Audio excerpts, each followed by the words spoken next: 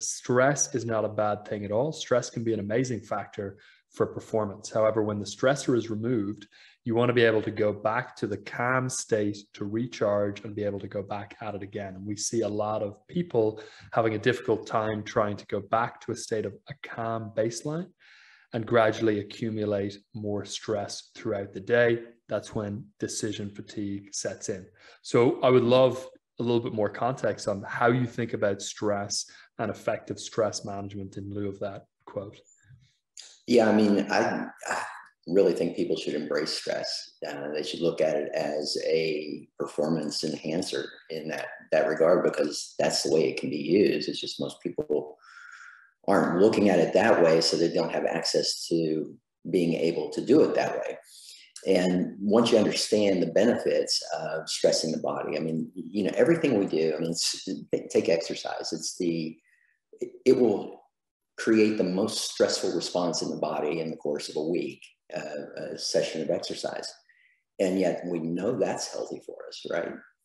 And so what's happening is, um, so the body, we call this the familiar zone. So there's this little zone where the body fluctuates in, you know, little sine wave through this zone. And there's an upper border and a lower border. This is where we are in our everyday lives and saying, you know, I can handle anything within this zone. What happens is you, when you stress, you take little excursions outside of that zone. And the more times you do that, the body goes, wow, I need to adapt because this environment is different than the environment I was in. So suddenly the body upgrades itself to a higher uh, zone being the familiar zone we see this a lot with people that go through weight loss programs. So uh, let's say they're sedentary, they eat poorly. So they go on a diet, they start exercising, and for three months, they've lost 20 pounds. And then the next three months, they continue doing the same workouts and eating healthy, and their weight doesn't budge. And they're like, you know, what happened here? And what it is, is this is epigenetics at work. The, the body adapts, it adjusts um, the functioning of genes, of the proteome, all of this in order to adapt to that new style to make it your new normal, I guess is the best way to say it. But we see this with every aspect of, of human life. I mean, we are defined as a human system. We are a complex adaptive system.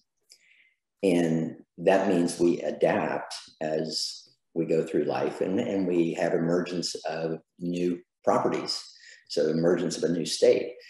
And this is what we do when we, we stress the body. I mean, you know, you think about vegetables. I mean, most people will tell you vegetables are healthy, but what they don't realize is vegetables are also toxic in the body. But that's one of the benefits of them.